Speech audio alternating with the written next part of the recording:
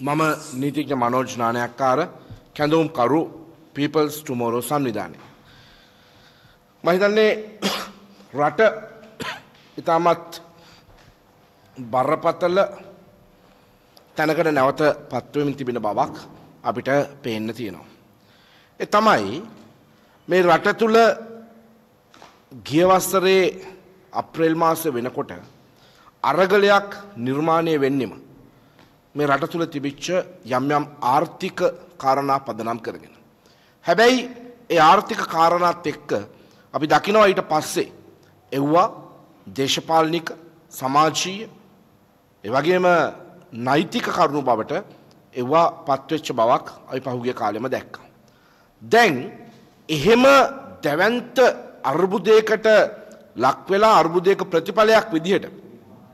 පාට පක්ෂ ආගම් බේදයකින් තොරව මේ රටේ ජනතාව පාරට බැහැලා ජන අරගලයක් නිර්මාණය කරලා ඒ අරගලය ප්‍රතිඵලයක් හැටියට මෙරටේ ලක්ෂ හැටනමයක චන්ද බලයක් සහිතව පත්වෙච්ච ජනාධිපතිවරයා රට සහ තනතුර හැරගිහිල්ලා කැබිනට් මණ්ඩලේ ඉවත් වෙලා අගමැතිවරය ඉවත් වෙලා මහබැංකු අධිපතිවරය ඉවත් වෙලා මුදල් ලේකම්වර ඇතුළු තව ලේකම්වරු ඉවත් වෙලා මේ රටේ දැවැන්ත දේශපාලන විපර්යාසයක් සිද්ධ වෙලා පාර්ලිමේන්තුවේ තුනෙන් දෙක බලයක් තිබිච්ච ආණ්ඩුවක් කඩා වැටිලා ඔවුන්ගේ තුනෙන් දෙක නැති වෙලා එවගේ සංසිද්ධි ගණනාවකට පස්සේ තමයි රනිල් වික්‍රමසිංහ මේ රටේ අග්‍රාමාත්‍යවරයා බවට පත්වෙලා ඉන් පසුව මේ ආණ්ඩුක්‍රම ව්‍යවස්ථාවේ තියෙන සිදුරු මගින් ඔහු ඉලෙක්ටඩ් ප්‍රසිඩන්ට් වෙනුවට ඔහු සිලෙක්ටඩ් ප්‍රසිඩන්ට් හැටියට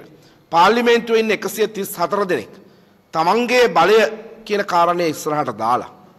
ඒ රටේ ඒ මොහොතේ රටේ පැවතිච්ච ඒ ජන අභිලාෂයන් වලට පයින් ගහලා තමන්ගේ හොරකම් ජඩකම් කුපාඩිකම් කුප්පකම් අමනකම් එළියට ඇවිල්ලා ජම්පරේ ඇඳගන්න සිද්ධ වෙයි කියන බිය නිසා රාජපක්ෂ නඩේ සහ රාජපක්ෂ නඩේට කඩේ ගිය ඒ කණ්ඩායමේ ඕනකමට ඔවුන්ගේ රැකවලා හැටියට රනිල් වික්‍රමසිංහව මේ රටේ ජනාධිපතිවර හැටියට පත් කරගන්නේ.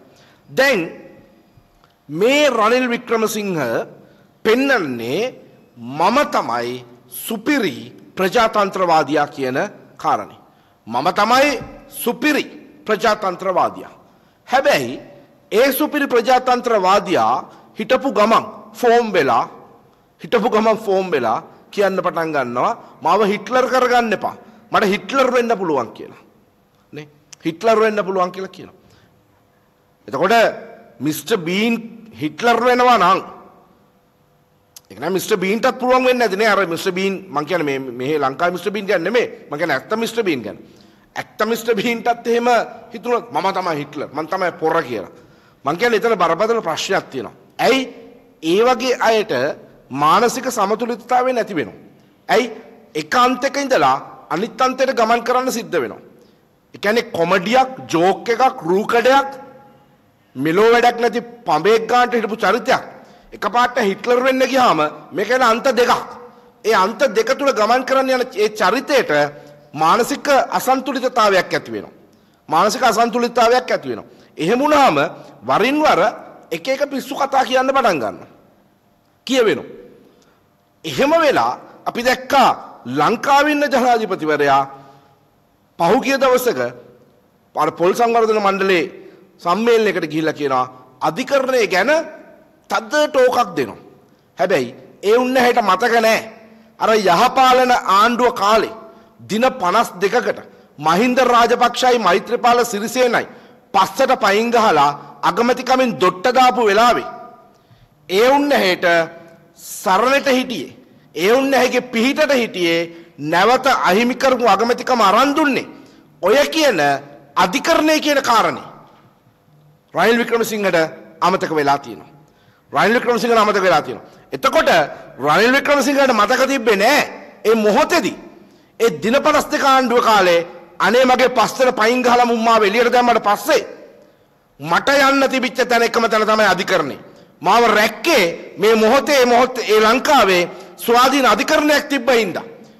ඒ නිසා අධිකරණයේ ස්වාධීනතාවයේ රැකීම තමයි මගේ පරම යුතුකම වෙන්නේ කියලා වික්‍රමසිංහට මේ මොහොතේ අමතක වෙලා තියෙනවා.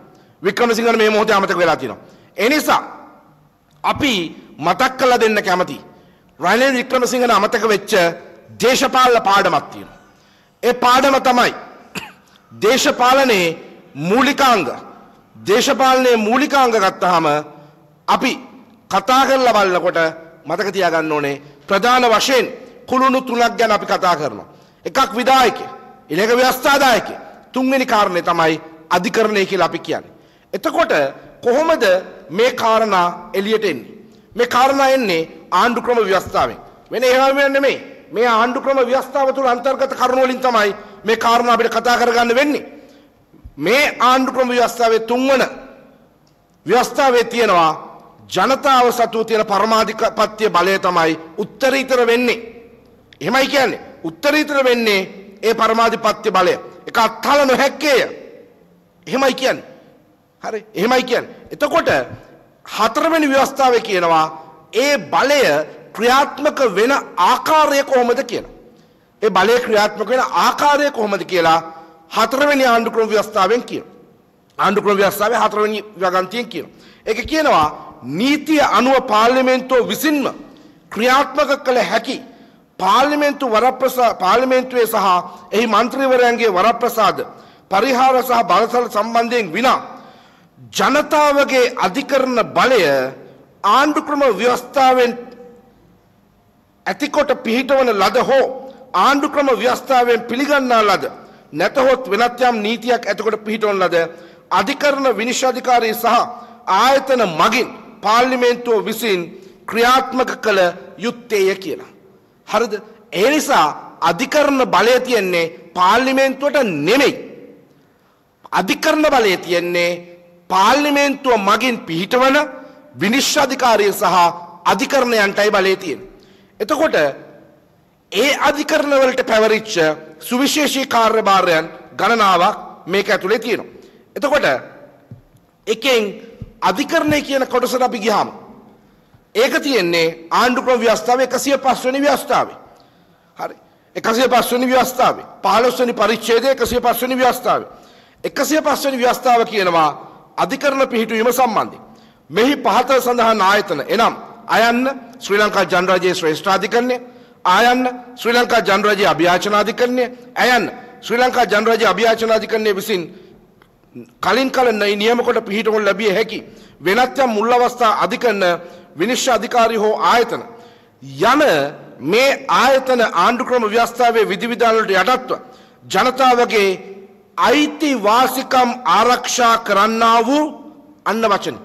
ජනතාවගේ අයිතිවාසිකම් ආරක්ෂා කරන්නා වූ තහවුරු කරන්නා වූ සහ බලගන්වන්නා වූ යුක්ති සම්ප යුක්තිය පසිදලන ආයතන වන්නේ ඒ වචන ටික හරියට ගන්න ඕනේ අපි. මොකද්ද කියන්නේ? මේ කියන අධිකරණ මොකද්ද මුඛ්‍ය පරමාර්ථය? අධිකරණවල.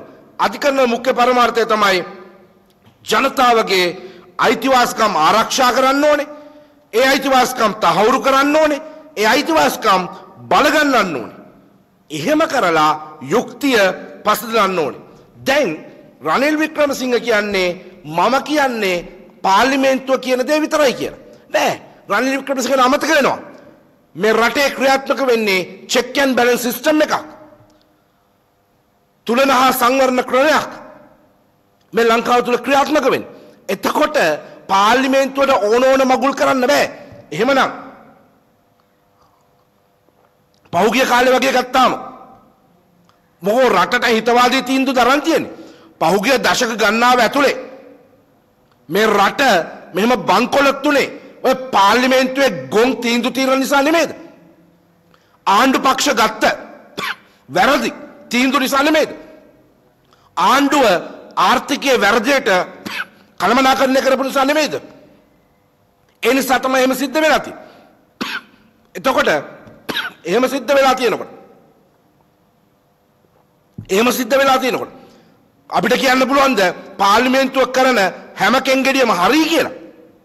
එහෙම කියන්න බෑ. ඒක පාර්ලිමේන්තුවේ වැරද්දද? ඒක පාර්ලිමේන්තුවේ වැරද්දක් නෙමෙයි. එහෙමනම් පාර්ලිමේන්තුව ඇතුලේ ඉන්න සමහරක් නියෝජිතයන්ගේ වැරද්දා. සමහරක් දේශපාලඥයන්ගේ වැරද්දා. ඒක පාර්ලිමේන්තුවේ සම්ප්‍රදාය වැරද්දක් නෙමෙයි. පාර්ලිමේන්තු සම්ප්‍රදායකයන් නියෝජිත ප්‍රජාතන්ත්‍රවාදී ඇතුලේ පැවතිය යුතු කාරණය.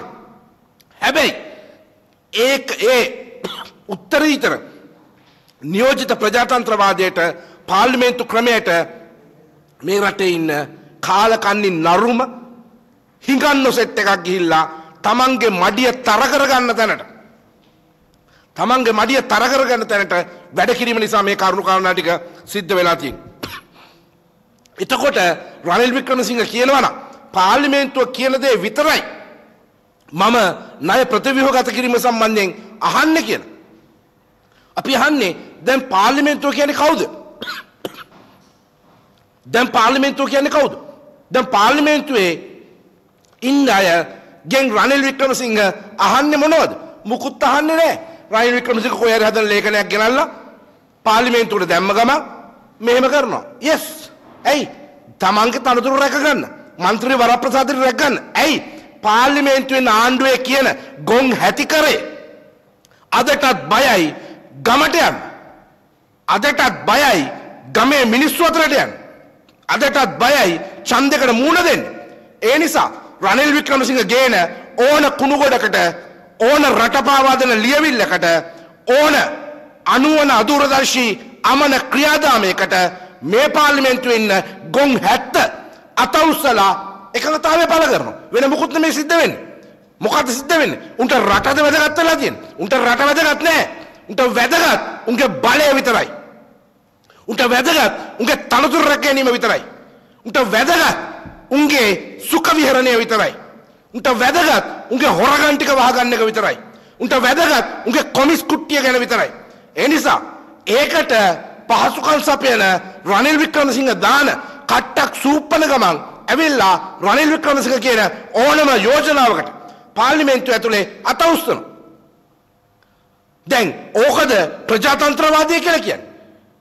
මිනිස්සුන්ගෙන් ඡන්දය අරන් ගිහිල්ලා ජනවරම සල්ලි වලට විකුණන උකස් තියන ගණිකා වෘත්තිය යොදවන එකද ප්‍රජාතන්ත්‍රවාදය කියලා කියන්නේ. දැන් ඒ ප්‍රජාතන්ත්‍රවාදයේද රනිල් වික්‍රමසිංහ මේ රට ඇතුලේ ප්‍රැක්ටිස් කරන්න හදන. ඒතර ඒ ප්‍රජාතන්ත්‍රවාදය ප්‍රැක්ටිස් කරාම මේ රටක් අපිට ඉතිරි වෙයිද? ඉතිරි වෙයිද? රනිල් වික්‍රමසිංහට දේව භාෂිතයේසේ මෙහෙමෝතේ සලකන IMF එකේ ගිවිසුම හැර මේ රටේ ඉන්න මිනිස්සුන්ගේ ජීවිත පයට පෑගෙන කූඹියක් ගන්නට වටිනවද? මේ රටේ මේ මොහොතේ තියෙන දැවන්ත බරපතල ප්‍රශ්න වලින් කීයෙන් කීයකට උත්තර දෙන්න මේ ආණ්ඩුවට හැකියාව හම්බෙලා තියෙනවා. ජල ප්‍රශ්නය ගත්තාම එහෙම් පිටින්ම අසාර්ථකයි. බෙහෙත් ප්‍රශ්නය ගත්තාම එහෙම් පිටින්ම අසාර්ථකයි. මේ හැම දෙයක් දිහා බැලුවාම ආර්ථික කළමනාකරණය අසාර්ථකයි. බඩු මිල වැඩි වෙනවා උද්දමනය පහළ යනවා. නියම ආර්ථික න්‍යායයන් තියෙන්නේ. අපි අහන ඔය ආර්ථික ඔස්තාල්ලගෙන් පොඩ්ඩක් උඹලගේ අම්මලගෙන් අහලා බලපල්ලා උඹලගේ අම්මලට කිඹුහුන් යන්නේ නැද්ද කියලා. ඔය ආර්ථික ඔස්තාල්ලගෙන් අපි කැමති යහන්න. මහ බැංකුවේ ඉන්න, මහ භාණ්ඩාගාරයේ ඉන්න, මුදල් අමාත්‍යාංශයේ ඉන්න. ඔය සංඛ්‍යාලයකන දත්ත රටට ඉදිරිපත් කරන උන්ගෙන් අපි අහනවා. සාමාන්‍යයෙන් උද්දමනය කියන්නේ භාණ්ඩ මිල අකණ්ඩව වැඩි වීම. දැන් බඩු මිල වැඩි වෙනවා. පෙට්‍රල් වැඩි වෙනවා. ගෑස් වැඩි වෙන්න යනවා. අඩු වෙච්ච බඩුවක් නැහැ. හැබැයි උද්දමනය 106ට අඩු වෙනවා. නියමයි. අපි අහනවා ඔය ආර්ථික ඔස්තාල්ලගෙන් උඹලගේ අම්මලගෙන් අහපල්ලා ගිහිල්ලා උඹලගේ අම්මලාට කිඹුහුන් යන්නේ නැද්ද කියලා. කිඹුහුන් යන්නේ නැද්ද කියලා. මොකද මේ රටේ මිනිස්සු මතක් කරන්නේ උඹලව නෙමෙයි. උඹලගේ අම්මලව. ඒ හින්දා. ඒ හින්දා. ඒ තරමට මේ රට කාබාසිනියා කරනවා. ඒ තරමට මේ රට විනාශ කරනවා. මේ රට විනාශ කරනවා. ඇයි? එකම සාධකයයි බලය විතරයි. වෙන මොකුත් වැඩක් නැහැ. වැදගත් වෙන්නේ බලය විතරයි. ඒකට ඕනම දෙයක් කරන්න ලෑස්ති. ඕන ජරා වැඩක්, ඕන කැත වැඩක්, ඕන අසික්කිත වැඩක්, ඕන බලු වැඩක්, ඕන අමන වැඩක්, ඕන කුපාඩි වැඩක්, ඕන තුච්ච වැඩක් කරන්න ලෑස්ති. ඒ වෙනුවෙන්. ඒ තරම් නින්දිත අමන තුට්ටු දෙකේ දේශපාලක්ඥ ඉන්න රටක් බවට මේ ලංකාව පත්වෙලා තියෙන. මේ ලංකාව පත්වෙලා තියෙන. එහෙම කතා කරනුම් අධිකරණේ ස්වාධීනතාවය ගැන කයිය ගහන්නෙනවා. නෑ අධිකරණයට බලයක් තියෙනවා මෙරටේ මිනිස්සුන්ගේ මූලික අයිතිවාසිකම් කඩවෙන තැන්වලදි. ඒ ගැන ප්‍රශ්න කරන්න. IMF එකෙන් ණය ප්‍රතිව්‍යූ ගත කරණය කරන්න යෝජනාව ගෙනාවට EPF ETF ගැන IMF එකෙන් නෙමේ තීන්දුව ගන්නේ. එක ගන්නේ මේ රටේ ඉන්න මහ බැංකුවයි මුදල් අමාත්‍යංශයයි රනිල් වික්‍රමසිංහ අය එකතු වෙලා. ඒ නිසා ඒ කාරණය ගැන තීන්දුවක් ගන්න ගරු අධිකරණයට බලයක් තියෙනවා. ඒක නැහැ කියන්න බෑ. ඇයි? රනිල් වික්‍රමසිංහ වැඩ කළා හම්බ කරපු සල්ලිද? සාගර රත්නායකලා වැඩ කළා හම්බ කරපු සල්ලිද? මහින්ද රාජපක්ෂලා දුක් මහන්සිලා හම්බ කරපු සල්ලිද? නෑ.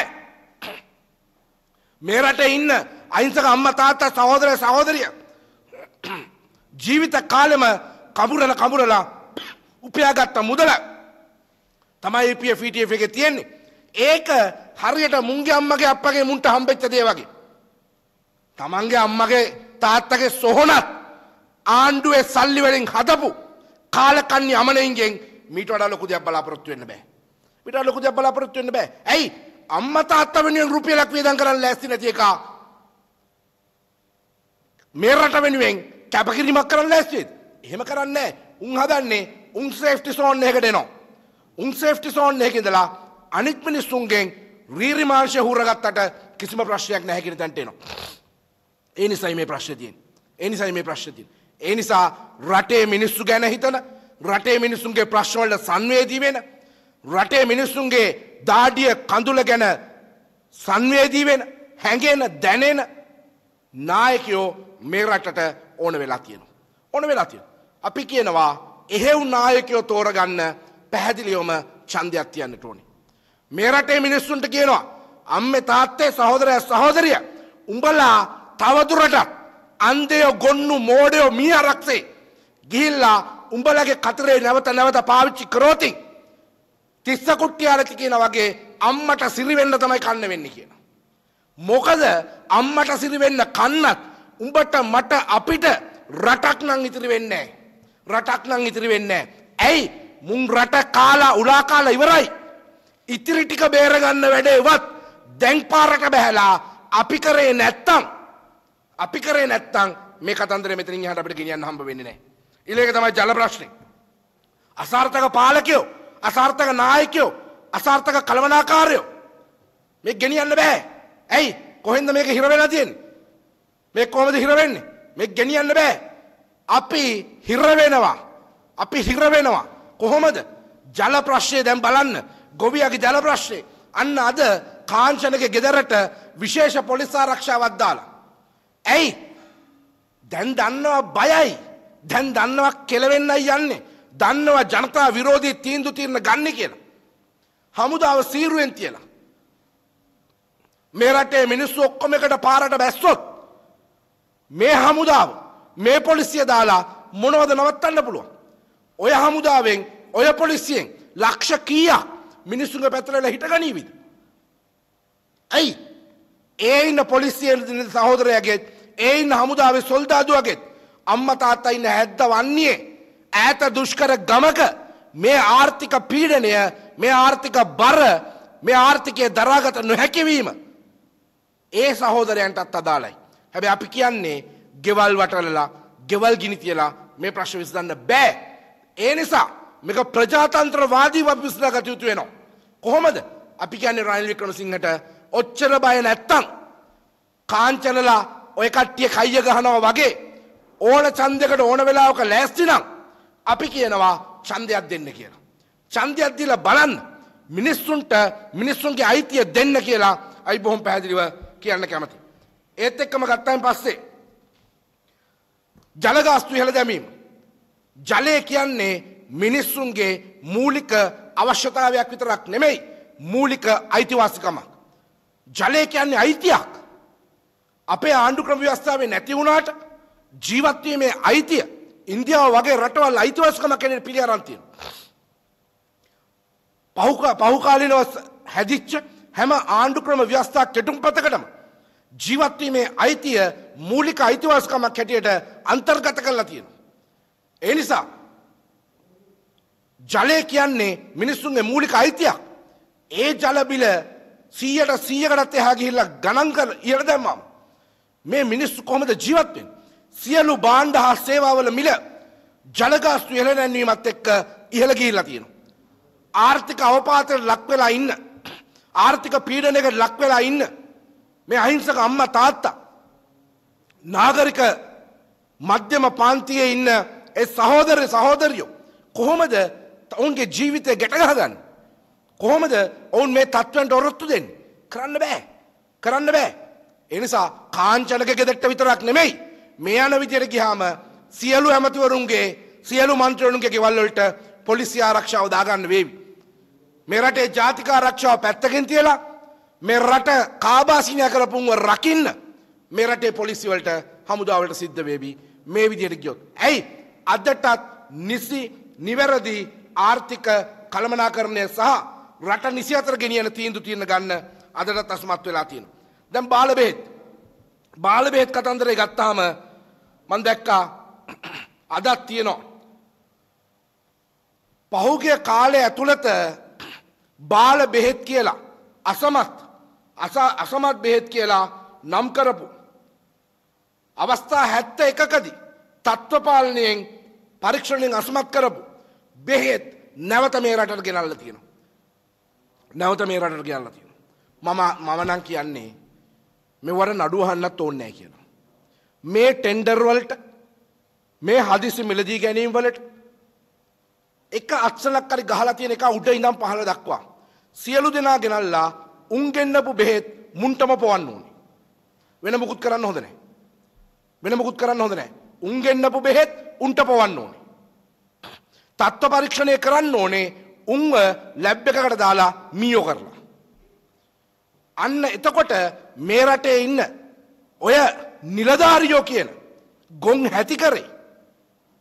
මේක දේශපාලකයන් විතර වැරද්දක් නෙමෙයි. ඒ දේශපාලකයන් උඩකට දීලා දේශපාලකයව පෝෂණය කරලා තමනුත් ඒක අස්සේ පෝෂණය වෙන මේ නිලධාරී පැලැන්තිය අපි වෙනස් කරන්න ඕන. එහෙම නැත්නම් උන්ට මේ රට හදන්න මේ රට රකින්න මේ රටේ මිනිසුගේ ජීවිත ආරක්ෂා කරන්න නැත්නම් 71 කතාවකදී අසමත් වෙච්ච බෙහෙත් පරීක්ෂණයෙන් අසමත් කරපු බෙහෙත් බ්ලැක් ලිස්ට් කරපු බෙහෙත් කොහොමද ආයි මේ රටට එන්නේ. මොකද ඒවා හෙරෝයින්ද? ඒවා අයිස්ද? ඒවා කේජීද? නෑ. ඒවා එන්න ඕනේ නිසි ආකාර ප්‍රසම්පාදන ක්‍රමවේදයකින්. ඒවා හොරෙන් බෝට් වලින් ආව නෙමෙයි. ඒවා හොර රහසේ ගෙනල්ලා වෙළඳපොළට දැම්ම නෙමෙයි. එව්වා සෞඛ්‍ය අමාත්‍යංශ පිළිගත්ත හදිසි මිලදී ගැනීම හෝ ක්‍රමවේදයක් කරහා මේ රටට ආපු බෙහෙත්. එහෙමනම් හැත්ත එක්වතාවක් අසමත් වෙච්ච බෙහෙත්. නැවත ගේනවා කියන්නේ ඒ බෙහෙත් වලින් මුන්ට කොච්චර මුදලක් හම්බෙලා තියෙනවද? ඒ බෙහෙත් කම්පැනි මුන්ට කොච්චර මුදලක් ගෙවලා තියෙනවද? ඒකයි අපි ඒක බලන්න ඕන කතාව. ඒකයි ඒකයි බලන්න ඕන කතාව. ඒ නිසා පැහැදිලිව අපි කියනවා මේ කියන తত্ত্বය මේ නිලධාරියොත් එක්ක නම් අපිට හදන්න හම්බ වෙන්නේ නැහැ. හදන්න හම්බ වෙන්නේ නැහැ. ඒකට චමල් සංජීවලා වගේ වෛද්‍යවරුන්ගේ කටවල් වහලා වැඩ පරි වැඩ තහනමට ලක් කරලා පැත්තකට කරා කියලා එහෙම හදන්න හම්බෙන්නේ නැහැ. මොකද නිදහස් සෞඛ්‍ය ආරක්ෂා කර ගන්න නම් සෞඛ්‍ය සම්පන්න ජනතාවක් අපි ඉස්සරහට ගෙනියන්න නම් හොඳ බෙහෙත් ඖෂධ ප්‍රතිපත්තියක් අපි රට තුල හදන්නට අවශ්‍ය වෙනවා. ඊළඟ තමයි ඩිජිටල් හැඳුනුම්පත්. ඩිජිටල් හැඳුනුම්පත්. ඉන්දියාවට අපි කියන්නේ ලොකු අයියේ ගොඩාක් ස්තුතියි කරන්න යන උදව්වට. හැබැයි කන්න නැතුව පොල් කට්ටරන් රටාටේ ලෝකෙ වටේ හිඟාකකා යන රටකට දැන් අඩු වෙලා තියෙන එකම දේ තමයි ඩිජිටල් හැඳුනුම්පත. ඩිජිටල් හැඳුනුම්පත දුන්නාම අපේ උන්ට සනීප වෙනවා. ලෙඩ හොඳ වෙනවා. අපේ උන්ගේ බඩ පිරෙනවා. එහෙමද වෙන්නේ? දැන් මුන්ට කන්න නැහැ. මුන්ට සමෘද්ධිය දී ගන්න බෑ. අස්වැසුම හදා ගන්න බෑ. ගොවියට වතුර ටික දී ගන්න බෑ. ගොවියට පොහොර ටික දී ගන්න බෑ. ගොවියගේ අස්වැන්න නෙලා ගන්න බෑ. හැබැයි මුන් රටේ ජනතාවට ඩිජිටල් හැඳුනුම්පත් හදන්න හදනවා. මං අහන්නේ ලෝකේ කොයි රටද? ලෝකේ කොයි රටද? තමන්ගේ මිනිස්සුන්ගේ ජීව දත්ත පද්ධතියක් මුළුමනින්ම වෙනත් විදේශ රටකට දුන්නේ. දැන් ඩිජිටල් හැඳුනුම්පත් හරහා අපේ රටේ ඉන්න ජනතාවගේ සම්පූර්ණ ජීවදත්ත පද්ධතියක් ඉන්දියාවට සතු වෙනවා. ඉන්දියාවට යනවා. අපි දන්නවා බලාරගල ඇතුළේ ඉන්දියාව චීනය සහ ඇමරිකාවත් එක්ක අපි කෙලිබඩුවක් බවට පත්වෙලා තියෙනවා. එතන ඒ බලාරගල ඇතුළේ අපි අපේ ජීවදත්ත පද්ධතිය ඉන්දියාවට දෙන්න යන එකෙන්ම අපිට මොකක්ද සිද්ධ වෙන්නේ? මේකෙන් නැවත නැවත කියන්නේ මේකෙන් නැවත නැවත කියන්නේ රනිල් වික්‍රමසිංහ ඇතුළු මේ පාලනය තමන්ගේ මේ රට මේ මොහොතේ බලය රැක ගැනීම සඳහා අපිවත් ඔබවත් විකුණන්න ලෑස්ති. ඇඳන් ඉන්න කලිසමත් දීලේවි. ඒ තරමට පල්ලෙහාට වැටලා තීන්දු තීරණ ගන්නයි ලෑස්තිලා තියෙන. එනිසා පැහැදිලිව මේ ක්‍රමයට විරුද්ධව මේ ගන්න අමන අදූරදර්ශි ළඟපිකප් තීන්දුවලට විරුද්ධව අපි වහම නැගී සිටින්න ඕනේ. මොකද ඔය නායකයෝ ඔක්කොම 80 විතර පැනලා ඉන්නේ 70 පැනලා 80 පැනලා ඉන්නේ. සතව කොච්චර කාලයක් ජීවත් වෙයිද කියලා දන්නේ හැබැයි අද ඉපදින්න ඉන්න දරුවා අද ඉන්න පුංචි දුවාපුතාට රටක් හෙටක් අපි ඉතිරි කරන්න ඕනි. ඒ වෙනුවෙන් අපි අනිවාර්යෙන්ම මේ අමන මේ වයෝවෘද්ධ අදුරදශී පාලකයෝ ගන්න තීන්දු තීරණවලට එරහිව සටන් කරන්නට ඕනි. බොම ස්තුතියි. මම නීතිඥ අමිලේගොඩ මහවත්ත සභහපති පීපල්ස් ටුමෝරෝ සංවිධානය. අද මේ මාධ්‍ය සාකච්ඡාව කැඳවීම සමගම මේ රටේ අපි බලාපොරොත්තු වෙනවා ඊටමත් දැඩි අර්බුදයකට ලක් වෙලා තියෙන දකුණු පළාත ඒ වගේම වෙනත් පළාත් ඇතුළුව මේ ගොවි ජනතාව මුහුණ දෙන ප්‍රශ්නය මේ ප්‍රශ්නය හුදු කාලගුණික ප්‍රශ්නයක් කාලගුණය නිසා මේ වියලි කාලගුණය නිසා ඇති වුණු ප්‍රශ්නයක් කියලා ආණ්ඩුව උත්සාහ කරනවා බොහොම සරල තැනකට මේක තල්ලු කරන්න. හැබැයි මේ රටේ ජනතාව විදිහට අපි මැරිලා ඉපදුනේ නැහැ. අපි මේ රටේ ජීවත් වෙච්ච මිනිස්සු විදියට අපි ආරාධනා කරනවා මීට මාස එකමාරක් විතර එහාට ගිහිල්ලා මේ රනිල් වික්‍රමසිංහ මාධ්‍යයට කිව්වේ මොනවද? කෘෂිකර්ම ඇමතිවරයා මාධ්‍යයට කිව්වේ මොනවද කියන එක. මහා ලොකුවට පුරාජේරුවට කිව්වා ඉතිහාසයේ කවදාක්වත් නැති තරමට ගොවීන් කුඹුරු වගාව එහෙම නැත්නම් ගොවිතැන වී ගොවිතැනට නැඹුරු වෙලා තියෙනවා මෙදා සැරේ කන්නේ ඊට විශාල වාර්තාගත කුඹුරු ඉඩම් ප්‍රමාණයක් වගා කටයුතු සඳහා යොදාගෙන තියෙනවා. ඒකේ ක්‍රෙඩිට් එක අරගන්නවා රනිල් වික්‍රමසිංහත් කෘෂිකර්ම ඇමතිවරයාත් රනිල් වික්‍රමසිංහ කියනවා මේ අපේ පොහොර ප්‍රතිපත්තිය හින්දා තමයි මෙන්න මේ විදියට විශාල විදියට ගොවීන් වගාවට යොමු වෙලා තියෙන්නේ. කෘෂිකර්ම ඇමතියත් කොනකින් ඉඳලා පොඩි මුක්කුවක් ගහලා කියනවා අපේ ජනාධිපතිවරයාගේ බලන්නකො විශ්වකර්ම පොහොර ප්‍රතිපත්තිය කියලා. දැන් එහෙම පම්පෝරි ගහපු එහෙම ලකුණු දාගත්ත කෘෂිකර්ම ඇමති රනිල් වික්‍රමසිංහ. දැන් මොකද කියන්නේ? ගොවියගේ අක්කර දහස් ගණනින් අද වගාව විනාශ වෙනකොට මාධ්‍යයට ඇවිල්ලා හොටු පෙරන කෙඳිරි ගාන කෘෂිකර්ම ඇමති කියනවා. මේක අනවශ්‍ය ප්‍රමාණයට ගොවියා වගා කරලලු. දැන් ඔන්න ගොවියා තමයි වැරද්ද කරලා තියෙන්නේ ගොවියා අනවශ්‍ය ප්‍රමාණයට වගා කරලලු. ඒ ඇස්සේ ඇමති කියනවා ඔව් මේකේ අපෙත් පොඩි වැරද්දක් තියෙනවා. මේ අපිට මේක හරියට කලමනාකරණය කරගන්න බැරුව ගියා. පාර්ශව අතර හරියට sannivedanaya උනේ නැහැ. මේ කාලගුණික ආ විශේෂඥයොත් මේක අපිට හරියට කිව්වේ නැහැ. කිව්වේ නැහැ කියලා නෙමෙයි කියන්නේ. හරියට කිව්වේ නැහැ. අන්න ඒක නිසා තමයි මේ අද මේ වෙනකොට මේ ප්‍රශ්නය ඇති වෙලා තියෙන්නේ කියන එක ඇමතියා කියනවා. දැන් අපි දන්නේ නැහැ කාලගුණය ඒ පිළිබඳ විශේෂඥයින් මේ ඇමතිට කොහොමද හරියට කියන්නේ කියන එක.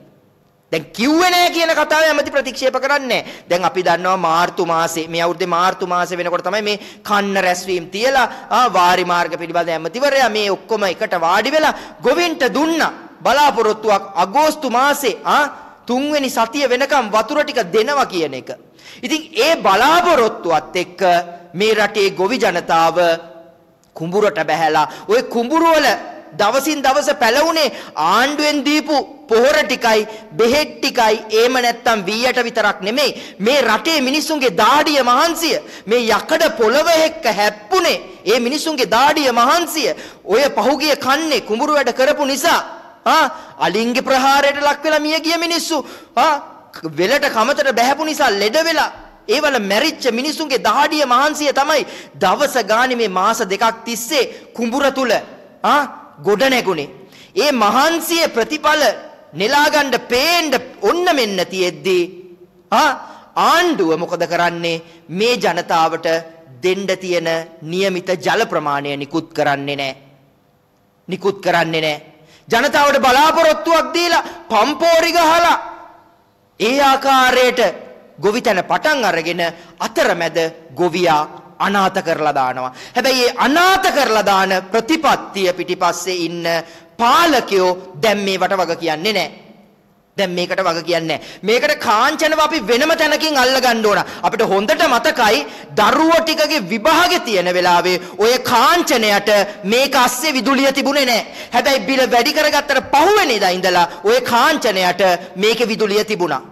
හරි? ඒ වගේම මේ වතුර ප්‍රශ්නේදීත් ආ ප්‍රමුඛතා ලයිස්තුවේ පානීය ජලය අංක 1ට අංක 2ට ගොවිතැන අංක 3ට විදුලි බලය තියෙද්දි දැන් කාංචනය විදුලියද ගොවිතැනද එහෙම නැත්නම් විදුලියද ජලයද කියන තොණ්ඩුව මේ රටේ මිනිසුන්ගේ බෙල්ලට දාලා ආ තමන්ගේ පැත්තට ඒක තමන්ට ඕන විදියට හිර කරගත්තා. හැබැයි අපි කාංචනට කියනවා දැන් ගොවිතැනට කැපුවනේ වතුර කපලා ඊළඟට හදිසි විදුලි මිලදී ගැනීමුත් කරන්න බලන් ඉන්නවනම් අපි එතනදී කාංචන ගැන තවත් කතා කරමු. මේකයි කලමනාකරණය කරනවා කියන්නේ අන්තිමට බෙල්ලත් කපලා මුට්ටියත් කුඩු කරලා එළියවත් විනාශ කරගන්න එක නෙමෙයි.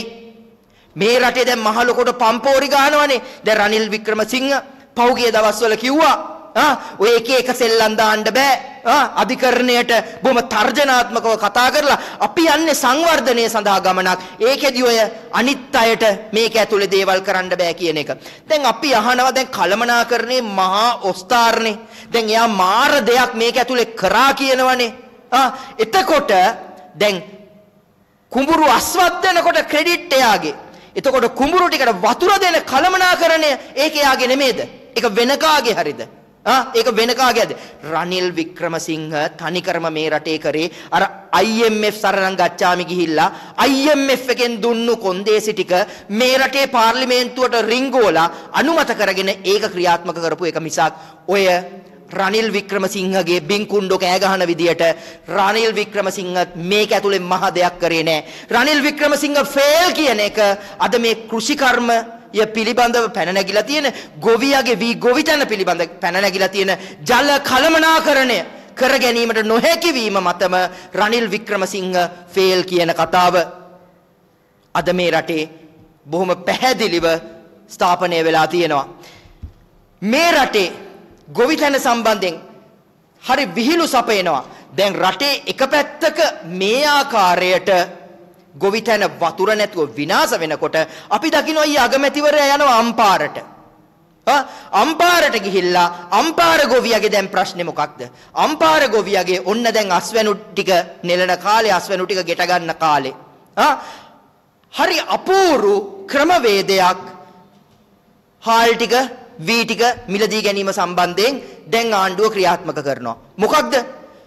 ගොවියා අම්පාරේ ගොවියා 95ක් වවලා තියෙන්නේ අර සුදු දිග රතු දිග කියන වර්ගයේ V වර්ගය. 95ක් ආණ්ඩුව ගිහින් කියනවා අපි මිලදී ගන්නේ බෝල වී ටිකයි කීරි සම්බටිකයි සම්බටිකයි ඒක වහපු මිනිස්සු ඉන්නේ 105කටත් වඩා අඩුවෙන්. ඒක තමයි ආණ්ඩුවේ අනිත් විහිළු විහිළුව සහ විකාර රූපී කලමනාකරණය ගොවියව විනාශ කරන තැන. අස්වැන්න ගන්නම් කියලා ගොවියට බලාපොරොත්තු දීලා අන්තිමට නෙලලා ගෙදරට ගේනකොට වවපු જાතිය නෙමෙයි ගන්නෙ වෙනත් જાතියක්. මේකද රනිල්ගේ කෘෂිකර්ම ඇමතිලගේ කලමනාකාර ඔස්තාර්භාවය. නෑ මේක මුංගේ වචනයෙන්ම කියනවා නම් කපටි කාලකන්නි දේශපාලන න්‍යාය. මොකද රුපියල් මිලියන 50ක් දීලා තියෙනවා වී මිලදී ගන්න. කෘෂිකර්ම නිලධාරීන් කියනවා ඒ රුපියල් මිලියන 50 අම්පාර දිස්ත්‍රික්කයේ වී නිෂ්පාදනයෙන් 101ක් මිලදී ගැනීමට ප්‍රමාණවත්. නිෂ්පාදනයෙන් 101ක් මිලදී ගැනීමට ප්‍රමාණවත්. එතකොට ආණ්ඩුවට කියන්න පුළුවන් හරි. අපි වී මිලදී ගන්න ඔන්න රුපියල් මිලියන 50ක් දීලා තියෙනවා. මිනිස්සු අවල තියෙන්නේ මිලදී ගන්න වී නෙමෙයි. මේ මුන්ගේ කපටි කාලකන්නි ජඩ ජඩ දේශපාලනය ද- ජඩ පාදඩ ආණ්ඩුකරණය මේක තමයි හැමදාම මේ රටේ සිද්ධ වුනේ මිනිස්සුන්ට දැන් අපි දකිනවා ආ අගමැතිවරයා ඉස්සරහා නිලධාරීන්ගෙන් අහනවා දැන් මේ මිනිස්සු අවලා තියන්නේ. නුසුදුසු වීද? නෑ. මේක තමයි මේ අම්පාරට සුදුසුම වී. හැබැයි ආණ්ඩුව මොකද කරන්නේ? මිලදී ගන්නේ ඊටමත් අවමෙන් දුර්ලභ විදිහට වවන වී ටික. මේ ගොවියා එක පැත්තකින් විනාශ වෙනවා. මාස ගාණක් දුක් විඳලා සතාසි උපාවගෙන් ආණ්ඩුවෙන් නිලධාරීන්ගෙන් පෝර ප්‍රතිපත්තියෙන් බේරගෙන ගොඩගත්ත වී ටික අන්තිමට ගොවියට විකන ගන්න විදිහක් නැහැ. ඒ විතරක් නෙමෙයි. දැන් මේ ජල කළමනාකරණය නොකිරීම නිසා ඊළඟට ඊළඟට ඇති වෙන ප්‍රශ්න ටික තමයි ගොඩ භෝග ටික. අපි දන්නවා ඔය ගොවිතැනට අමතරව ඒ ජනතාව කෙහෙල් වගා කරලා තියෙනවා. බරපතල විදිහට ඔය වාරි කර්මාන්ත අ, ඒ ප්‍රදේශවලින් ජනතාව උක්වවල තියෙනවා. සංඛ්‍යා ලේඛන අනුව පවුල් 3000ක් විතර අක්කර 7000ක විතර උක්වවල තියෙනවා. අවමය සතියට දෙවතාවක්වත් ජලය ලැබෙන්න ඕන ඒ උක්වගාව බේරගන්න. ආ නිරන්තරයෙන් අලියා සතාසි උපාව එක්ක ඔට්ටු වෙලා ඊළඟට මේ රටේ තියෙන කාලකන්ණි ප්‍රතිපත්තිය එක්ක ඔට්ටු වෙලා හදාගත්ත වගාව පෙනි පෙනි විනාශ වෙනවා නම් මේ විනාශ වෙන්නේ ඒ මිනිස්සුන්ගේ ජීවිත මේ විනාශ වෙන්නේ මේ මිනිසුන්ගේ ප්‍රශ්නේ. ඒ ගොවීන්ව කලකිරෝලා ඈත් කරලා ඒ ව්‍යාපාර කඩාවට්ටලා ඉවරයි. දැන් පිට රටින් ආයෝජකයෝ ගෙනල්ලා මේ රටේ බිත්තර මස් ටික හදන්න පිඹුරුපත් සකසමින් ඉන්නේ. අපි දන්නවා මේ පාලකයෝ මේ ගොවි තැනටත් කරන්නේ දේ තමයි. අද යන්තමින් අද තරුණයා මේ ගොවි තැනට ආකර්ෂණය වෙන්නේ නැහැ. මොකද තරුණයා දකිනවා තමන්ගේ අම්මා තාත්තා තමන්ගේ වැඩිහිටියා මේ ගොවි තැන වෙනුවෙන් දකින විඳින දුක. ඉතින් ඒ තරුණයා උත්සාහ කරනවා ඊට වඩා වෙනත් කර්මාන්තයකට. අලුත් પરම්පරාව මේ කෘෂිකර්මයෙන් ඈත් වෙනවා කියන්නේ මේ රටේ පැහැදිලි ලෙසම අනාගතයේදී මේ මේ කෘෂිකර්මාන්තය දැඩි අර්බුදයකට යනවා කියන එක. දැන් පාලකයා කෘ- මේ වතුර ප්‍රශ්නය ඉස්සරහට දාලා මේ වීවගාව ඉස්සරහට දාලා අපිට කිව්වේ ගොවි තැනද? එහෙම නැත්තම් විදුලියද කියන එක තෝරගන්න. අපි කියනවා ගොවිතැනත් නෙමෙයි විදුලියත් නෙමෙයි උඹලා ගෙදර ඵලයල්ලා. උඹලා ගෙදර ඵලයල්ලා. උඹලාව ගෙදර අරින්න පුළුවන් ඡන්දයක් අපිට දීපල්ලා. අන්න එතකොට අපි උඹලා වෙනුවෙන් ගත යුතු නිවැරදි තීරණය ගන්නම්. අද රටට අවශ්‍ය හාල් ඇටේවත් ජලයවත් නෙමෙයි මේ රටේ ජනතාවගේ පරමාධිපත්‍ය ආරක්ෂා කරගෙන මේ දිව හැරෙන හැරෙන පැත්තට ප්‍රතිපත්ති වෙනස් කරන බොරු කියන මේ කාලකන්නි දේශපාලඥයෝ ගෙදර අරින්න පුළුවන් අවස්ථාවක් තමයි මේ රටේ මිනිස්සුන්ට ඕන වෙලා තියෙන්නේ. අපි දකිනවා මේ ප්‍රශ්නයත් එක්ක මේ රටේ විවිධ ප්‍රරා- ප්‍රදේශවල මේ ගොවියගේ ප්‍රශ්නය Tamanට ඍජුව නොදැනුණු විවිධ පාර්ශව ගොවියෝ විවිධ අය මේකට එකතු වෙනවා. ඒක හොඳ දෙයක්. හැබැයි ඒ වගේම මේක ගොවියගේ ප්‍රශ්නයක්. මේක අපේ ප්‍රශ්නයක් නෙමෙයි කියලා තාම ඇස් වහගෙන අහක බලන් ඉන්න මිනිසුන්ටත් අපි කියනවා මේ ප්‍රශ්නවලදී අනිත් මිනිහගේ ප්‍රශ්නය වෙනුවෙන් සංවේදී වෙන්න. මොකද ඒ මිනිසු මහ පොළව එක්ක ඔට්ටු උනේ. ඒ මිනිසු මහ පොළවට කඳුළු හෙළුවේ, දහඩිය හෙළුවේ ඒ මිනිසුන්ට කණ්ඩ විතරක් නෙමෙයි. අපේ බඩත් පුරෝ ගන්න. අපි හිතනවා නම් කොහෙන් හරි ගෙනල්ලා හම්බෙන QR එකකට හරි හාල් කණ්ඩ තියෙනවා නම් ඒක අපිට කමක් නැහැ කියලා. අන්න එහෙම ඒ කාලකන්නි කාලකන්නි රටවැසියෝ ගානට වැටෙන්න එපා කියන කාරණාව. එතකොට අපි දන්නවා රනිල් වික්‍රමසිංහ මේ දවස්වල හැසිරෙන්නේ නිකන් අර පොහොට්ටුව රාබීලා එවපු මීයෙක් ගානට. රනිල් ඇවිල්ලා පොහොට්ටුවේ රාකල ටික බීලා දැන් මීයෙක් ගානට ඇවිල්ලා හෙන්න සිංහ ටෝක් දෙනවා. හරි? දැන් රනිල් වික්‍රමසිංහ කියනවා පාර්ලිමේන්තුවෙන් අනුමත කරපු වැඩපිළිවෙල විදියට විදියට තමයි එයා කටයුතු කරන්නේ. IMF එකෙන් දුන්නු ආ අපේ කොළවල ගහලා පාර්ලිමේන්තුවෙන් අනුමත කරගත්ත වැඩපිළිවෙල තමයි එයා ක්‍රියාත්මක කරන්න කියලා. එතකොට අපි රනිල් වික්‍රමසිංහගෙන් අහනවා ඒ වැඩපිළිවෙල මේ රටේ ආණ්ඩුක්‍රම ව්‍යවස්ථාවට වඩා උඩින්ද තියෙන්නේ කියන කාරණාව. නීතිඥයෝ විදියට අපි අහනවා. එතකොට මේ රටේ ආණ්ඩුක්‍රම ව්‍යවස්ථාව මේ රටේ ජනතාව විසින් බලය දීපු පාර්ලිමේන්තුව විසින් සම්මත කරපු එකක් නෙමේද. එතකොට එයාට ඊට පිටින් කටයුතු කරන්න තියෙන බලය මොකක්ද? කියන කාරණාව මේ වෙනකොට හොඳටම දන්නවා ජනාධිපතිවරයා පාර්ශවකාරයින් කරලා මේ රටේ නඩු කටයුතු අධිකරණය තුල ක්‍රියාත්මක වෙනවා. ඒ ක්‍රියාත්මක වෙන අධිකරණයට තමයි රනිල් වික්‍රමසිංහ අර පෞගියදා ඇවිල්ලා තර්ජනය කරන්නේ බලපෑම් කරන්නේ අපි නීතිඥවරුන් හිටියට මේ රටේ පුරවැසියන් විදියට තරයේ හෙලා දකිනවා සහ දැඩි දෝෂ දර්ශනයට ලක් කරනවා ඒ ජනාධිපතිවරයාගේ ඒ හැසිරීම. එතකොට රනිල් වික්‍රමසිංහ පෙන්නලා දෙනවා මේ අධිකරණය කොහොමද කටයුතු කරන්න ඕන? රනිල් වික්‍රමසිංහල කොහොමද කරන්නේ? පැහැදිලි ලෙසම ඒ රනිල් වික්‍රමසිංහ දැන් මේ උත්සාහ කරන්නේ ඒකාධිපතිවාදයට මේ රටේ ව්‍යවස්ථාදායක විදායක අධිකරණ බලය සියල්ල බලයක් නැති මේ පුටුවට හොරපාරේ රිංගපු පුටුව හිස් වෙනකන් ඉඳලා මේකේ läගපු දැන් මේකෙන් යන්න බෑ කියලා පුටු කකුලේ පුටු ඇන්දේ ඉල්ලිලා කෑමොර දෙන රනිල් වික්‍රමසිංහ කොහොමද? මේ රටේ අධිකරණය හැසිරිය යුතු ආකාරය අධිකරණයට කියලා දෙන්නේ. කියන ප්‍රශ්නේ අපි රනිල් වික්‍රමසිංහගෙන් අහනවා. මතක තියාගන්න. මේ රටේ මිනිස්සුන්ගේ අද ඡන්ද කල් දාලා මේ රටේ මිනිස්සුන්ගේ පරමාධිපත්‍ය පැහැර අරගෙන තියෙන ආණ්ඩුවකට පාලනයකට පුළුවන්ද රටේ මිනිස්සුන්ව මෙහෙම පාලනය කරන්න? රනිල් වික්‍රමසිංහලා මහ ලොකු ඔස්තාර්ලා නම් මහ ලොකු වැඩර්ලා නම් මහ ලොකු පොරවල් නම් මේ කෘෂිකර්මයට අද මොකද වෙන්නේ? IMF IMF එකෙන් දුන්නු කොලයක් ගෙනල්ලා මේකේ සම්මත කරගෙන මේකේ ණය ටික ගෙවන්න නැතුව තෙල් ටික දුන්න පළියට රනිල් වික්‍රමසිංහ පොරක් වෙනවා නම් කෘෂිකර්මය පිළිබඳව ප්‍රශ්නේදී රනිල් වික්‍රමසිංහ මීක් නැහැ මීයා ගානට වැටිලා ඉන්නේ. ඒ වලට කතා නැහැ ඒ වලට උත්තර නැහැ ඒවට කමිටු. හැම දෙයකටම මේ රටේ අභාග්‍ය කියන්නේ. කෘෂිකර්ම ඇමති අද කියනවා.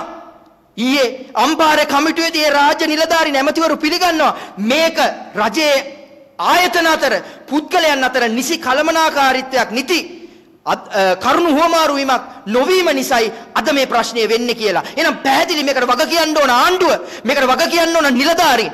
හැබැයි අන්තිමට මේ සියල්ලට වන්දි ගෙවන්න ඕන මේ රටේ මිනිස්සු. බෙහෙත් බාල බෙහෙත් ගෙනල්ලා මිනිස්සු මැරෙනකොට අපි වන්දි ගෙවන්නම් කියනවා. ඒ සල්ලි කාගේද? රටේ මිනිස්සුන්ගේ. එතකොට මැරෙන්නෙත් අපි, වන්දි ගෙවන්නෙත් අපි. උන් වැරදි කෘෂිකර්ම ප්‍රතිපත්ති අරගෙන මේ රටේ වගාව කාබාසීනිය වෙනකොට ගොවියන් මහපාරට වැටෙනකොට ඒ වන්දියත් ඒකටත් වන්දි ගෙවන්නම් කියනවා. එතකොට ඒ වන්දිය ගෙවන්නෙත් වික්‍රමසිංහගේ පොකට්ටගෙන්ද? ආ කෘෂිකර්ම ඇමතිගේ සාක්කුවෙන්ද? නෑ. ඒ ටික ගෙවන්නෙත් රටේ මිනිස්සුන්ගේ සල්ලි වලින්. අන්න ඒක තමයි අද මේ රට පත් වෙලා තියෙන විනාශකාරී తත්වය.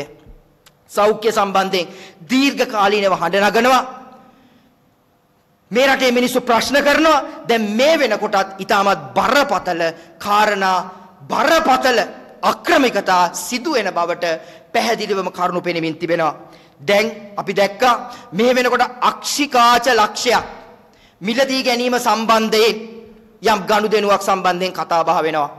ඒකේ මුලින්ම සැක කටයුතු ප්‍රශ්නය තමයි ඒ පිළිබඳ කතා කරන පාර්ශව කියනවා මේ අක්ෂිකාච ලක්ෂ්‍ය එකවර ඇනවුම් කරොත් ඒ සඳහා අනුමැතිය ඇමතිවරයාගෙන් ගත යුතු නිසා ඒක කොටස් කීපයකට කඩලා ලේකම්වරයාට අනුමැතිය ලබා දෙන්න පුළුවන් විදියට ඒක මිලදී ගැනීමේ ක්‍රමවේදය හදාගෙන තියෙනවලු.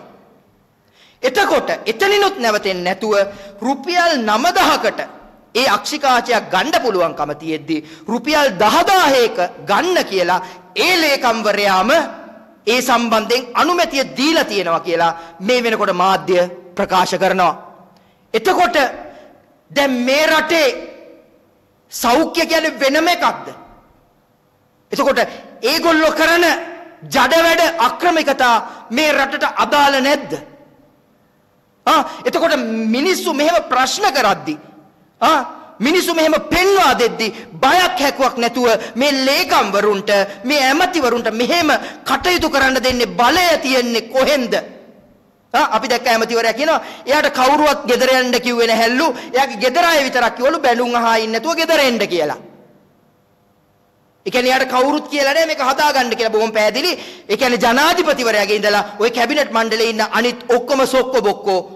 මේ ඇමතිවරයා මේ දක්වා ෆේල් වෙලා ඉන්න ෆේලියර් රඹුක් කැල්ලට තාම කියලා නෑ මේක එක්කෝ හදපන් නැත්තම් දාලා බැරි නම් දාලා ඵලයන් කියන කාරණාව. එහෙම තියෙද්දි දැන් තවත් තොරතුරු වාර්තා වෙනවා හෘදය සඳහා භාවි හෘදය රෝගී තත්ත්වයන් සඳහා භාවිතා වෙන ස්ටෙන්ට් යන්ත්‍ර 3000ක් කල්ලිකුත් වීම නිසා භාවිතයෙන් ඉවත් කරන්න හදනවලු. එක යන්ත්‍රයක් රුපියල් ලක්ෂ දෙකක් විතර වටිනවලු. එතකොට ආසන්න වශයෙන් ලක්ෂ 6000ක විතර පාඩුවක්. මේක මේ ඇමතිවරයා නෙමෙයි මිට කලින් හිටපු අයට අයත් මේකට වග කියන්න ඕන. අපි මේ කතා කරන්නේ එක ඇමතිවරයෙක් හෝ එක පුද්ගලයෙක් සම්බන්ධයෙන් නෙමෙයි. මේ ස්ටෙන්ට් යන්ත්‍ර 6000 කල්ලිකුත් වෙනකන් මේ රෝහල් වල ගබඩාවල තිබිච්ච තැන්වල තියාගෙන හිටියේ ඇයි කියන ප්‍රශ්නේ අපිට තියෙනවා. එතකොට මේ රටේ මේ ස්ටෙන්ට් යන්ත්‍ර අවශ්‍ය වුණු රෝගීන් හිටියේ නැද්ද? අපි දන්න තරමට නම් මේ වගේ යන්ත්‍රයක් දාගන්න මාස ගණන් අවුරුදු ගණන් රෝගීන් ලයිස්තු වල ඉන්න ඕන.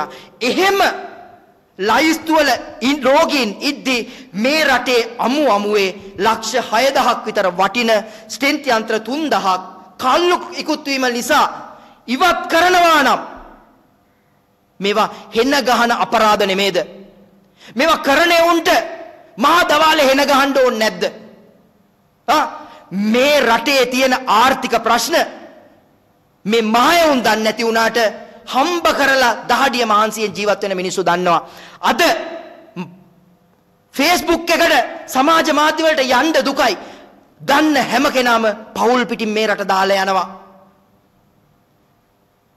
මේ රට දාලා යනවා. ඇයි මේ රට අනාරක්ෂිත කරලා. එහෙම විනාශ වෙච්ච රටක මේ අවශ්‍යතා තියෙද්දි මේ යන්ත්‍ර හා මේ ස්ටෙන්ට් යන්ත්‍ර බලාගෙන ජීවිතයේ අයදිමින් දුක් විඳින ලෙඩ්ඩු ඉද්දි මේවා අමු අමුවේ කල්ලිකුත් කරලා විනාශ කරන්න මුන් රාස්‍යයෝද? මුන්ගේ හිත් කියන දේවල් නැද්ද? මොකක්ද මේ රටට වෙලා තියෙන මේ කාලකන්නිකම කියලා අපි ප්‍රශ්න කරනවා. ප්‍රශ්න කරනවා. අපි නීතිඥවරු වශයෙන් මේ පිළිබඳ තොරතුරු හොයා බලලා මේ සම්බන්ධයෙන් වගකිය යුත්තන් පිළිබඳව කටයුතු කරන්න අපි අපිට ගත හැකි සියලු ක්‍රියාමාර්ග ගන්නවා. අපි ඒ වෙනුවෙන් මේ රටේ සිවිල් සංවිධානවලට ජනතාවට ආරාධනය කරනවා. ඒ වගේම මේ සෞඛ්‍ය ශේත්‍රය මහා පුදුමාකාර එකක්. මේ රටේ මන්ද පෝෂණය ගැන කතා කරපු බහල බෙහෙත් ගැන කතා කරපු මේ රටේ මිනිස්සු ගැන කතා කරපු වෛද්‍ය චමල් සංජීව වැඩ තහනමට ලක් කරලා පටි නැතුව ගෙදර යවලා ඉන්ක්වාරිත් නැතුව පැත්තකට කරලා තියෙනවා. හැබැයි එල්එච්.ආර් එකේ වැඩ තහනමට ලක් වෙච්ච වෛද්‍යවරු අද අවුරුද්දක කාලයක් පඩි ඇතුව වැඩ කරලා තියෙනවා කියලා වාර්තා ලැබෙනවා. ඒ අය පශ්චාත් මරණ පරීක්ෂණ පවත්වනවා කියලා වාර්තා ලැබෙනවා. මොකක්ද මොකක්ද හේතුව චමාල් සංජීවට එක හැන්දකින් බෙදන්නත් මේ වගේ ඇමතිවරුන්ගේ එහෙම නැත්තම් නිලධාරීන්ගේ හෙන්චයියන්ට තව හැන්දකින් බෙදන්නත් මේ රටේ තියෙන සාධාරණත්වය. ඇත්ත කතා කරන එක මිනිසුන්ව පඩි නැතුව විනාශ කරලා පැත්තකට දාන්නත් උන්ට ජඩකම් වලට උන්ගේ මැරකම් වලට උන්ගේ බලුකම් වලට අවස්ථාව දෙන මිනිස්සුන්ට මුට මිනිස්සු කියන්න බෑ.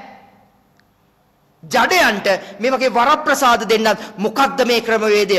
බොහොම පැහැදිලි. ඒකයි මේ රටේ වෘත්තිකයෝ විදියට අපි කියන්නේ. මේ ක්‍රමය විනාශ කරන්න ඕන නම් මේ ක්‍රමය නවත්ත ගන්න ඕන නම් මේකට තිත තියන්න ඕන නම් මේ රටේ මේ ජඩකම ඡන්ද කල් දාලා සියලු ප්‍රජාතන්ත්‍රවාදී අයිතින් උල්ලංඝනය කරලා ඉන්න මේ පාලකයෝ ගෙදර යවන්න ඕන. ඒ සඳහා මේ රටේ මිනිස්සු අංක එකේ ප්‍රමුඛත්වයට මේ රටේ පරමාධිපත්‍ය ක්‍රියාත්මක කර ගැනීම සඳහා සටන් කරන්න ඕන කියන කාරණාව අවධාරණය කරනවා. ඒ වගේම අපි දැක්කා දැන් මේ ලයිට් බිල වැඩි කරනවද අඩු කරනවද? ආ විවිධ ප්‍රශ්න තියෙනවා. දැන් මේ රටේ ඡන්දයක් කිට්ටු වුණාම ආ මුලින්ම දුවන්නේ විහාරස්ථාන ගානේ. නේද? වට්ටි ගෙනියනවා, වඳිනවා, පුදනවා. හැබැයි අපි දැක්කා මේ රටේ බෞද්ධ ජනතාව ඉතාමත් ඉහළ තැනක අග්‍රස්ථ තැනක තියලා වන්දනාමාන කරන ඓතිහාසික වශයෙන්ද හැම අතකින්ම වටිනාකමක් තියෙන අර මිහින්තලේ විදුලි බිල සම්බන්ධයෙන් විදුලි බල මණ්ඩලයේ ක්‍රියාත්මක වෙන ආකාරය. හැබැයි දැන් මාධ්‍ය කියනවා නාමල් රාජපක්ෂටත් තියෙනවලු ඒ හා සමාන ඒ කිට්ටුවට බිලක්. නාමල් කියනවා එයා එහෙම බිලක් දැකලා නැහැලු. එයා ඒක දැකලා නැහැලු. හැබැයි මාධ්‍ය එහෙම දෙයක් කියනවා. අපි දැක්කේ නෑ ඒක බොරුවක්. ආ ඒ අයට විරුද්ධව නීතිමය ක්‍රියාමාර්ග ගන්නවා කියලා නාමල් එහෙම කියනවා. හැබැයි ඒ බිල සම්බන්ධයෙන් විදුලි බල මණ්ඩලය එහෙම නැත්නම් ඒ අධිකාරිය ක්‍රියාත්මක වෙන්නේ ප්‍රතිපත්ති දෙකක්. මොකක්ද ඒ දෙබිඩි පිළිවෙත? ඒ වගේම අපි දැක්ක මේ රාමල් රාජපක්ෂ අහනවා දැන් අපේ නෝන අපේ ආණ්ඩුවක් වගේ මොකක්ද ජනාධිපතිවරයාගේ වැඩපිළිවෙල මේ ගොවිතැන සම්බන්ධයෙන් වී වගාව සම්බන්ධයෙන් මේ විනාශ වෙච්ච වගාව සම්බන්ධයෙන් කියලා. අපි නාමල් රාජපක්ෂගෙන් අහනවා මේ සතියන්තයේ පුවත්පත්වල තිබුණා මත්තල ගුවන් තොටුපළේ පාඩුව විතරක් රුපියල් කෝටි 4200කට ආසන්නයි කියලා. පුළුවන් නම් නාමල් රාජපක්ෂ තමුසේ තමුසලේ ගෙදර ඉන්න අප්පච්චිගෙන් අහනවා අර ස්මාරක විදියට මේ රටේ තැන් තැන් වල හදපු ස්මාරක වලින් එකක් නේ ඕක. ආ පරිසර අධ්‍යයන වාර්තා එපා කියද්දි ඒවල හිටපු කමිටු කමිටු වල හිටපු මිනිසුන්ගේ ගෙදර යවලා tamunට ඕන ආ අටමගල් ඇස්සේ අට අටෝ ගත්ත ගුවන් තොටුපළක් නේ ඔය මත්තල කියන්නේ. දැන් ඒකේ කෝටි 4200ක් පාඩුයි. අන්න ඒක tamunගේ අප්පොච්චි පියවනවද කියන එක මේ රටට කියලා ඉන්න. නැත්තම් ඒක ගෙවන්න වෙන්නේ මේ රටේ මිනිස්සුන්ගේ EPF එකෙන් ETF එකෙන්. ආ නැත්නම් ඒ ටික ගෙවන්න වෙන්නේ පණ අඩින ලෙඩාගේ බෙහෙත් පෙත්තෙන් ඉන්ජෙක්ෂන් එකෙන්. එහෙම නැත්තම් ඒක ගෙවන්න වෙන්නේ මේ රටේ දරුවට තම්බල කණ්ඩ දෙන අලගෙඩියෙන්. ආ නිකන් බයිලා පම්පෝරි ගහන්න එපා. තාත්තගේ සාටගේ බෙල්ල යොතා ගත්තට තමුන්නාන්සේ පොරක් වෙන්නේ නැහැ.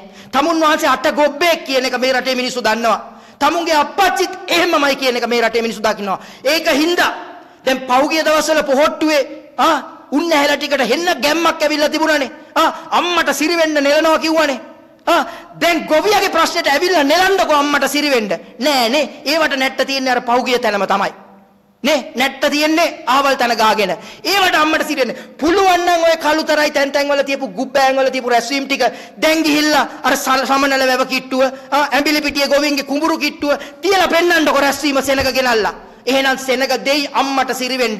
ඔය වම්බොට්ටන්ට මතක තියාගන්න උඹලා හිතන් ඉන්නවනම් උඹලගේ ආණ්ඩු පිහිටුවගෙන උඹලගේ ජනාධිපතිවරු පත් කරගෙන අපේ දරුවගේ ඉඳලා අපේ තරුණයාගේ ඉඳලා අපේ අම්මගේ තාත්තගේ ඉඳලා ජීවිතවලට අම්මට සිරිවෙන්න නෙලන්න ඒකට අපි ඉඩ තියන්නේ නැහැ මහත්තයෝ.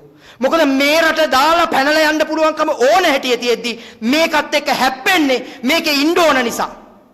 හැබැයි මේකේ ඉන්නේ උන් මොක්කුද කියලා නොදැන නෙමෙයි අපි මේවත් එක්ක හැප්පෙන්නේ. ඒක හින්දා මතක තියාගන්න මේ රටේ මිනිස්සුන් අව탁සේරු කරන්න එපා. මේ රටේ මිනිස්සු පාරට වැහපු වෙලාවේ උඹලගේ ඔය ගොබ් බහඬු 69 ගෙදර එළෙව්වේ එක දවසට දෙකට. ඒකින්ද ආයෝ සෝබන කතා මාධ්‍ය වලට ඇවිල්ලා කියන්න එපා. උඹලට මේ රටේ ප්‍රශ්න වලට විසඳුන් නැත්තම් කටවල් සහ අවල් එක වහගෙන හිටියට කමක් නැහැ. මොකද ගොවියගේ ප්‍රශ්නෙට උඹලට මීක් නැහැ.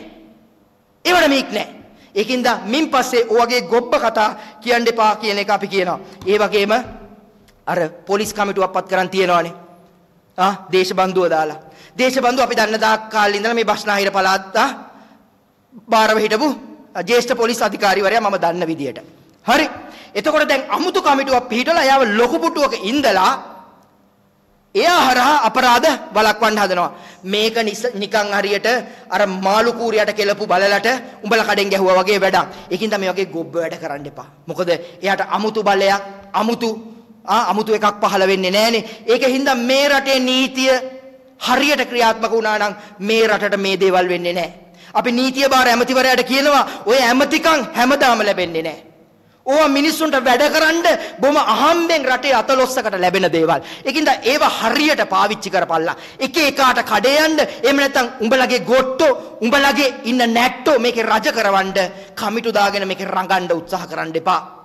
මොකද මේ රටවල් උඹලගේ ඔය රැඟිලි නිසා විනාශ කෙරුව හොඳටම ඇති කියන කාරණාව දැන් කියනවා. මේ දේවල් අපි කතා කරන්නේ බොහොම වේදනාවෙන්.